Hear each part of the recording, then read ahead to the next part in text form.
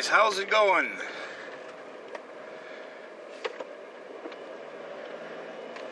See, this is Wednesday sometime. Which Wednesday? I have no clue. Uh, April 10th. Okay, now if I could just keep the camera there. Wednesday, April 10th. 2013.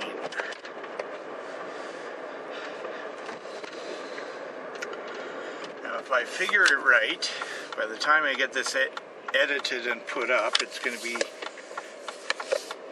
about April 16th or 18th. Hopefully 2013 as well. Uh, we'll just have to see.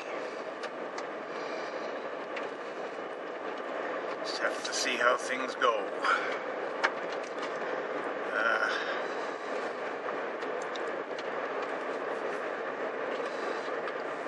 yesterday, I was at the neurologist. Had a bad day after, I usually do.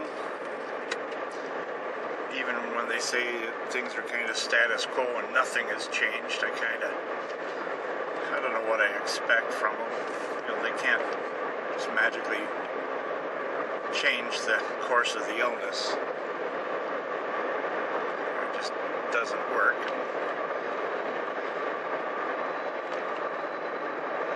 Can't change it, can't. Well, they're trying to alter it and slow it down, but just nobody knows what the, the current drugs do.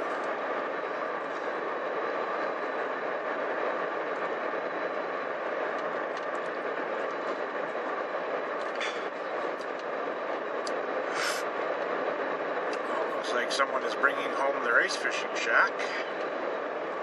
Yep. Looks like it, but it's not.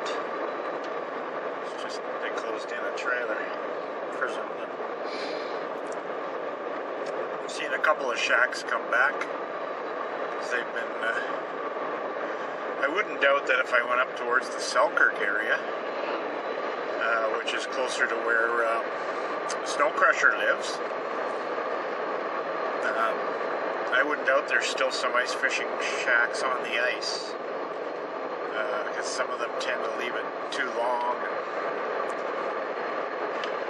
They actually had to buy permits for them this year. Register a phone number that they can be reached that's posted on the shack. They can be charged with its removal if they don't get it off when they're supposed to. Because some years people wait till the last minute and then they suddenly get a, a little bit of a warm spell or some overland flooding or water gets on top of the ice and then it becomes unsafe to go out and get it. So, crap, three poles, three transformers. Wow. Um, so they're them off now if they haven't. They should have, because I don't think there's going to be much ice fishing left. Uh, we're supposed to be getting nice temperatures starting you know, today, tomorrow. It's supposed to get up around zero today, I believe, up to plus temperatures week, but still not up to where we're supposed to be. But I'll take I'll take a couple degrees above and let the melt the snow melt slow, so we don't get as much flooding as could happen if we get the fast flooding.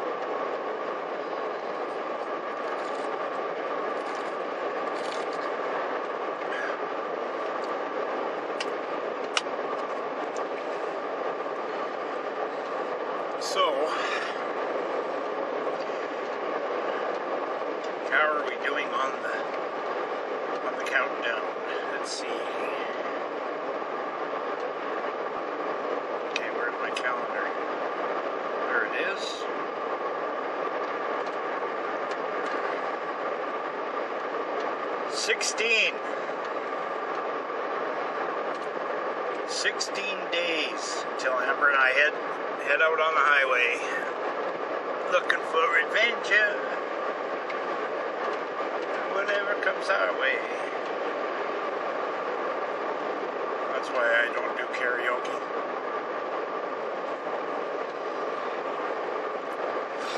Closest I ever got to making music was uh,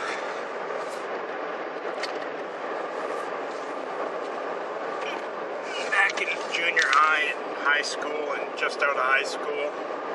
I played trumpet for a few years.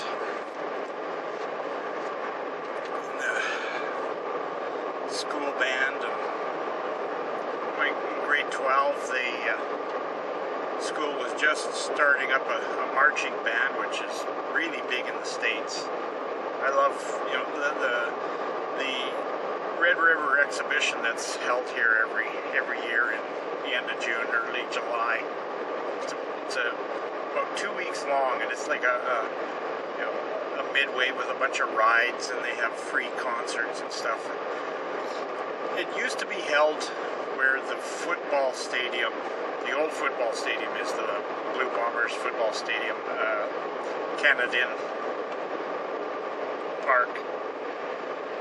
And one of the things that they used to host there was a marching band competition, so they'd get a, you know, really nothing from Canada because we just never did that for some reason. But they'd bring up, you know, there'd be a lot of, a couple of high schools from the States and several universities from the States would come up. Never got the, you know, the real, the top of the line ones, but we got the, uh, the smaller university ones. Uh, I just loved watching that, you know, when they when they get into, you know, marching the routines and they're playing the music at the same time, and just phenomenal to watch. You know, I could watch that for hours.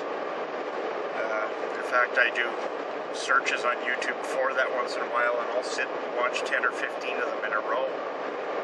Um, I hate to admit to everybody that might get offended, but the USC Trojans are my are my favorite marching band from the states, especially their drum corps. Yeah. I'm not going to tell you who the best ones are. I'm just telling you who my favorites are, because I couldn't tell you who the best ones are. There are just too many that they're just that good.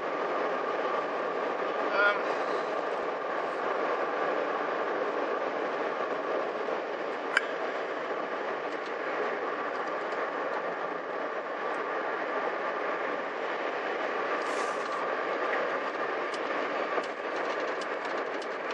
just shooting the shit with you. I thought I was had a, something I was going to talk to you about, but you know how good old shit for brains goes with me. It's gone. Okay, you're going straight, you're turning, so I'll turn too. M&M Meat Shops. Can drop that truckload of meat off at my house. They have some pretty good products. Pretty good stuff, and not just They have the stuff that's already pre-breaded and prepared, you know, teriyaki, all sorts of things. Little hors d'oeuvres, appetizers. It's one bad thing about this time of year. You get a bit of sun. and The snow is white. It gets bright reflects off the sun, gives you a bit of snow blindness. And the brightness is good, but the snow blindness, no.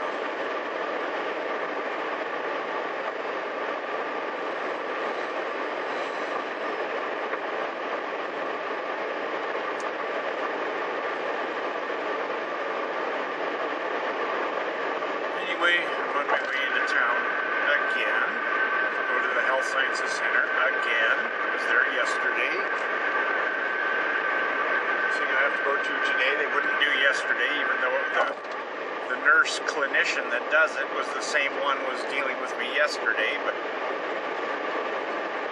because there's so few staff at the MS clinic here. They're busy. She's semi-retired and working more hours than she wants. And uh, so they keep her hopping. So she she said she would have done me done yesterday the, the testing that, that I'm going in, or the, the thing that I'm going in for today. Um, she just didn't, couldn't fit the 20 minutes into her schedule. So, just means that I take another 30, 35 kilometer drive in. 35 kilometers, half an hour in, plus the 35 kilometers, half an hour back home. So, but I also have other running to do in the city, so I can do that. Uh, which I'm going to do.